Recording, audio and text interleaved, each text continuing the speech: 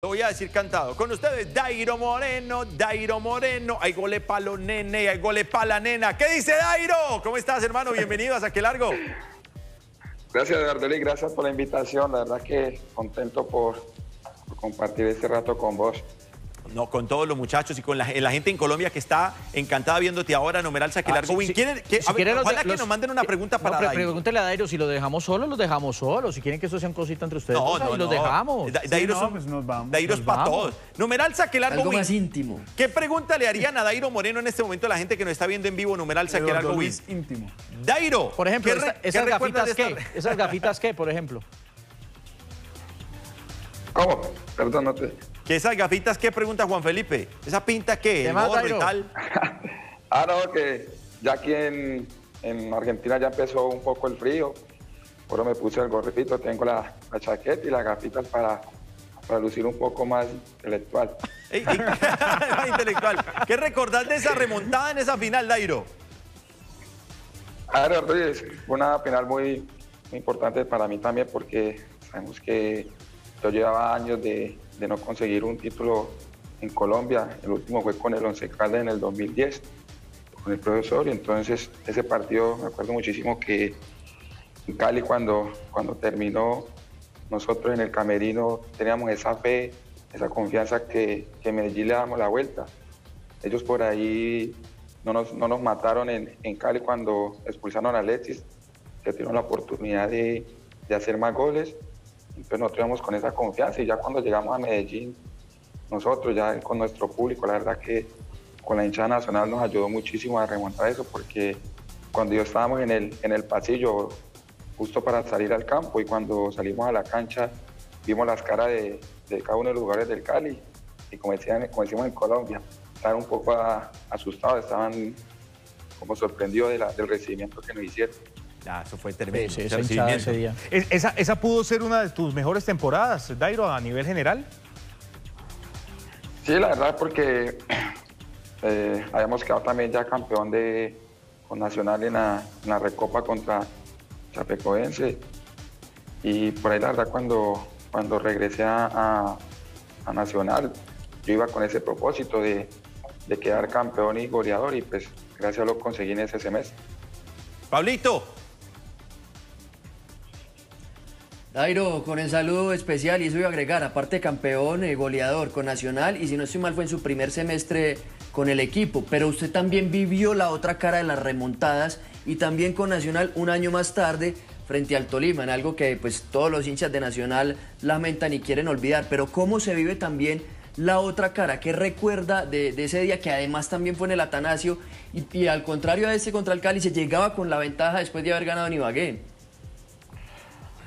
A ver, en lo, personal, eh, la verdad que me sentí un poco confiado porque ya habíamos sacado un resultado muy importante en, Ibagué, que le habíamos ganado 1-0 de visitantes, pues sabíamos que de local no éramos muy fuerte con, con el apoyo de, nuestro público íbamos, íbamos, creíamos que íbamos a ser más fácil, pero bueno, sabemos que el fútbol es, es así, uno no, uno no puede confiarse, sino jugar los 95 hasta que el árbitro pit y por ahí en el último minuto Tolima nos, nos empató la serie y pues sabemos que en, los penaltis una lotería y pues desafortunadamente esa nos tocó a nosotros perder.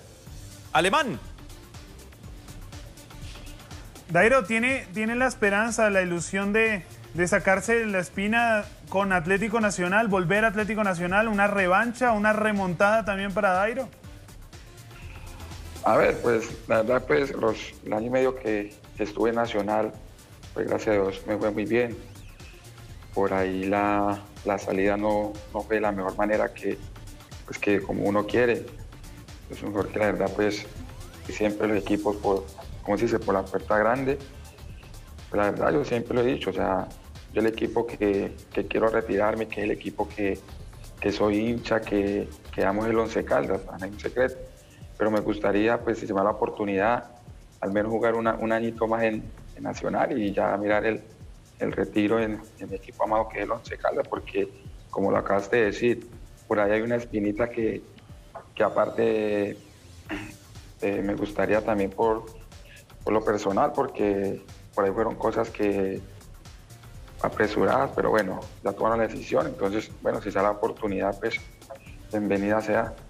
Dairo, pero, Pero, pero, ¿a sí qué ve que lo mal- pero sí ve que lo malinterpretaron. Yo le dije a usted No, esta semana. no, porque esta semana se habló mucho de, de las No, declaraciones pero acá. yo la escuché. Dairo, yo escuché su declaración en otro medio. ¿Pero a qué revancha se refiere? A Ah, mí no, me pero- parece que a él le fue bien Claro, en pero es que lo que se estaba diciendo era que, que, que Dairo estaba diciendo que se quería retirar en el equipo del que era hincha, que era Nacional, y él lo dijo claramente. Yo soy hincha del 11, el equipo que amo es el 11, pero tengo una revancha en Nacional. Pero ¿cuál es la revancha? Lo que, lo que pasa es que, la verdad, o sea, amigo, antes de, llegar al 11 de pequeño me gustaba Nacional. Siempre, pues, desde pequeño me gustaba en la época del, de lo- del 93, así cuando Nacional jugaba eso, me gustaba cómo jugaba y todo. Y pues me gustó siempre Nacional desde pequeño. Pero ya cuando llego a, Manizales, al Once Caldas, eh, es el equipo que, que pues, me ha dado todo. Desde ahí prácticamente surgí. Eh, y la verdad soy eh, hincha y, y amo al Once Caldas, donde me quiero retirar, obvio. A Nacional le tengo un aprecio porque es un, un equipo que lo, lo admiraba desde pequeño y llegar a jugar y ser campeón y, y goleador, eso queda para la historia, pero la verdad con lo- el, el equipo que yo siempre pues he querido y he amado es el Once Caldas.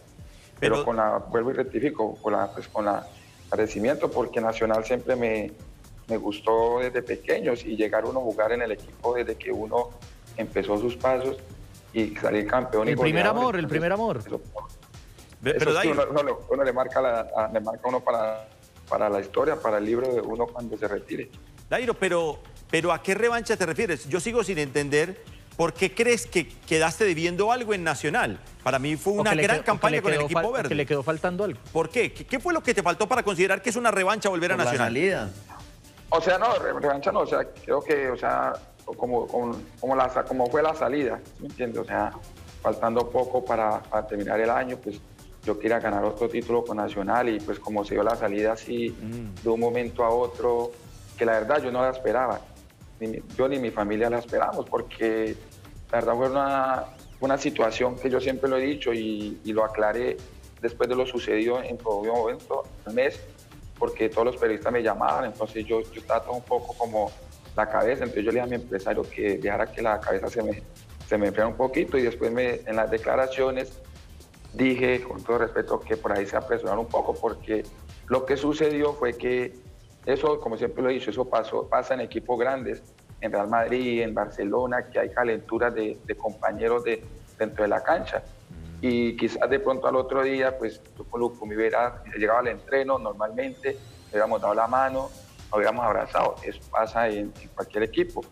Entonces me refiero a eso, a que quizás de pronto, y las imágenes se ven que, que yo no hice nada. Yo sí, la, de pronto la reacción mía fue cuando terminó el partido, que yo salgo corriendo del camerino, por ahí quizás sí es el error que yo cometí, y después yo hablando con, con mi familia, diciéndole a mi esposa, diciendo a toda mi familia que esa fue la, quizás la, el error que yo tuve al reaccionar así, salir corriendo para el camerino, pues obvio, todo mundo sabía que, que iba, que iba a haber de pronto un, un encontrón en el camerino.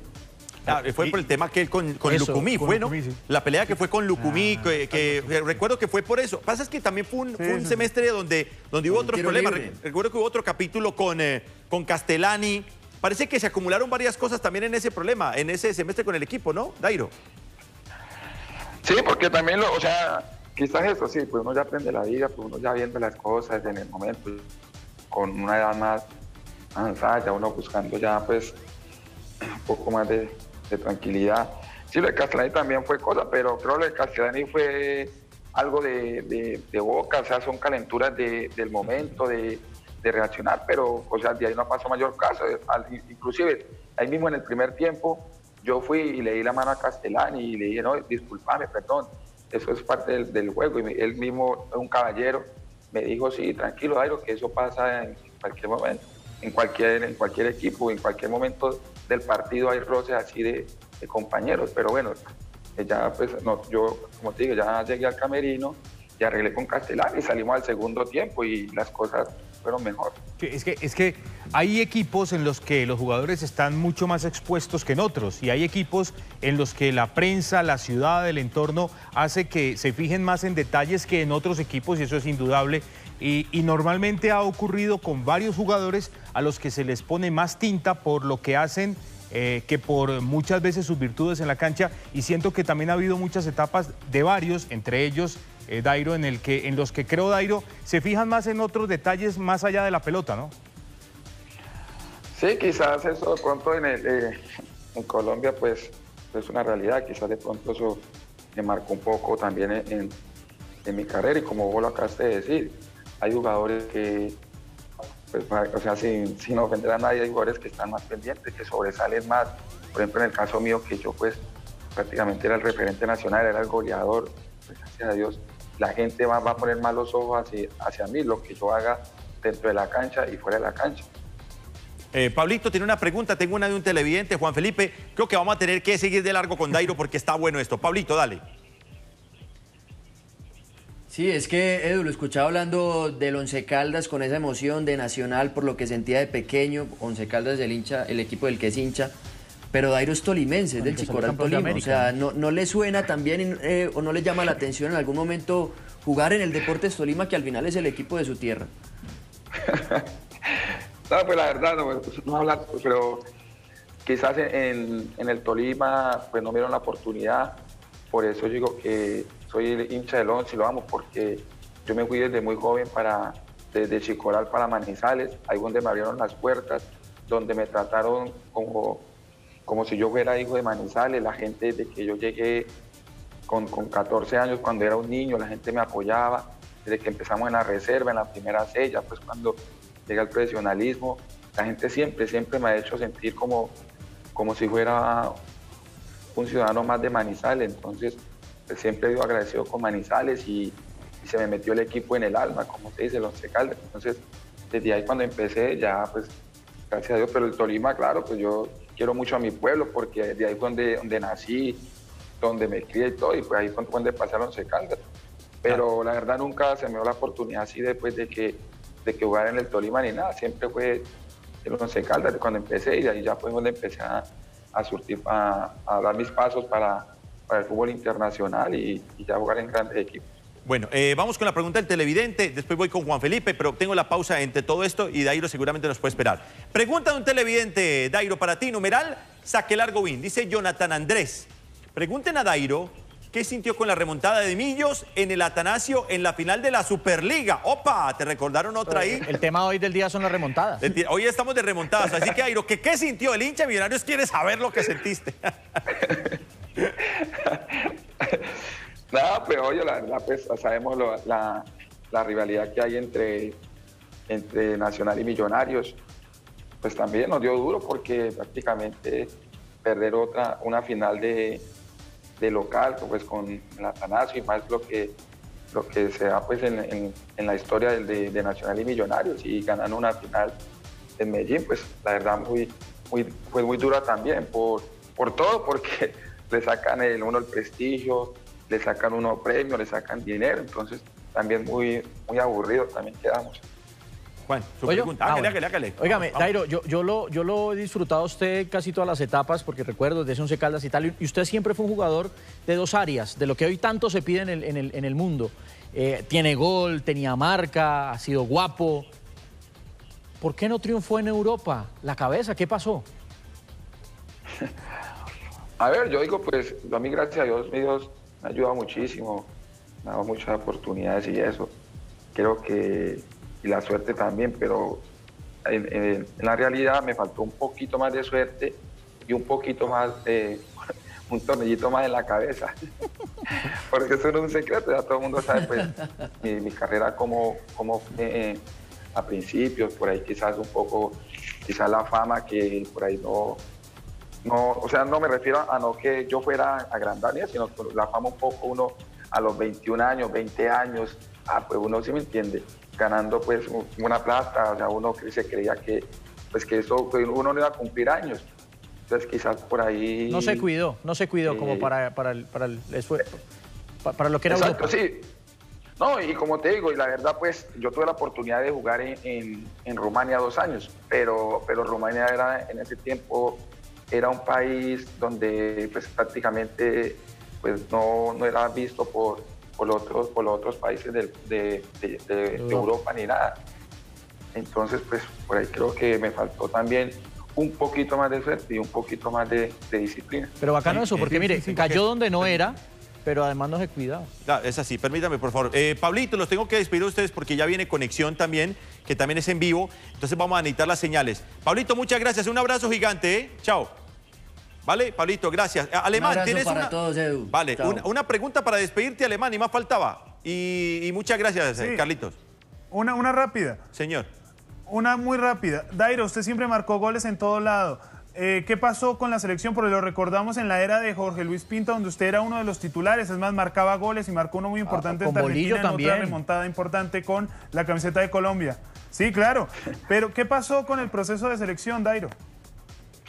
Pues ver, gracias a Dios, pues, eh, yo la verdad, pues, eh, no, no, tuve una continuidad, pues, o no vieron como una, una continuidad en la selección, entonces jugaba, jugaba partido, me convocaba, a veces no, o sea, no tuve una continuidad, digamos, de tener un proceso en la selección de cinco o seis años seguidos eh, en eliminatorias, en Copas Américas, en, en, mundiales. Quizás por eso no me consolidé en, en, marcar goles, pero sí, la verdad, pues me faltó un poco más de eso, de, de anotar un poco más goles en, en, mi país, pero fue por eso quizás pero, no tenía esa continuidad. Pero Dairo, yo creo que usted también tuvo mala suerte ahí, porque Bolillo Gómez confiaba mucho en usted. Bolillo Gómez era un entrenador que lo tenía usted en la base de la selección Colombia. En, ese famoso 4-1-4-1 claro, que, todo el mundo decía, Argentina, Que todo el mundo decía que era defensivo, imagínese. Eh, por un lado Dairo, por el otro Adrián Ramos, en punta Falcao, Guarín y Abel. ¿Qué defensivo va a ser eso? Y estos dos como unas flechas. Bien esa Copa. Estos dos como unas flechas por los lados. Usted también tuvo mala suerte, Dairo, porque si Bolillo sigue en la selección, seguramente usted habría seguido en la selección. Es que siempre lo he dicho, o sea, yo a veces hablo con la gente de fútbol, la gente cuando me pregunta así que la selección, la verdad quizás eh, incluso en estos, ayer, ayer estaba hablando con un, con un parcerito mío y hablamos de fútbol y eso, y estamos hablando de eso, sobre, sobre los procesos que yo he tenido, y yo le dije, no, el proceso mío era con Bolillo, porque era, como se dice en el fútbol, Bolillo para mí es un papá y Bolillo me quería muchísimo y me tenía mucha confianza. Incluso hoy cuando cuando fue la selección, él fue el primero que me llamó a mí, me comentaba todo. En la Copa América yo era titular indiscutible. Pues lastimosamente, lo que pues ya todo el mundo sabe lo que sucedió. Y Le faltó un tornillo también a Bolillo ahí. Exacto. Claro, le faltó un tornillo. Dairo, eh, la verdad podríamos hablar eh, otra hora más con Dairo Moreno, ni ah, más faltaba, pero ya se viene conexión, hermano. Entonces, Dairo, nos encanta saber de ti. ¿Cómo está, ya para ir terminando, cómo están tus cosas? ¿Hasta cuándo tenés contrato? Porque se ha hablado mucho, incluso estuvo supuestamente muy cerca que volvieras a Colombia. Se habló bastante de Junior. ¿Qué tan real fue y cuál es tu realidad hoy contractual como para pensar en Dairo Moreno futuro en, Colombia? Pero yo la verdad, pues en este momento eh, todo es un incierto a nivel mundial. Todavía no sabemos qué es lo que va a pasar de, de aquí a porque yo tengo contrato en diciembre, pero Aquí en Argentina pues está un poco complicado el tema, entonces yo esperaré sentarme con mi empresario con, y con el, el, dueño, con Andrés Pazzi, porque necesito también soluciones, a ver qué se puede mirar, a, a tener buena, porque aquí con el presidente tenemos buena relación, pero la economía acá en, en Argentina está un poco difícil. Entonces, pues vamos a mirar, esperar a ver qué de aquí a junio, a principios de junio, eh, hablar con el presidente y a ver qué se puede solucionar. ¿Hasta cuándo tiene contrato? Pues yo hasta ahora tengo contrato hasta diciembre, pero como te digo, o sea, o sea, la economía aquí está pues un poco complicada, eh, pues ya todo el mundo, los equipos acá están un poco pues diciendo que, que van, a, van a, los contratos de, de, de, los jugadores extranjeros, de, de, los de los, del equipo grande, de los que ganan pues más de un tope acá, pues van a bajar y eso, entonces, como te digo, hay que esperar y sentarse uno a hablar con, con Andrés qué puede suceder. Dairo, lo mejor para ti, un abrazo gigante, mi hermano. La seguimos después. En estos días lo llamo para que hablemos. Vale, muchas gracias a ustedes por la invitación y a, a Saque Largo y a todos los de, los de la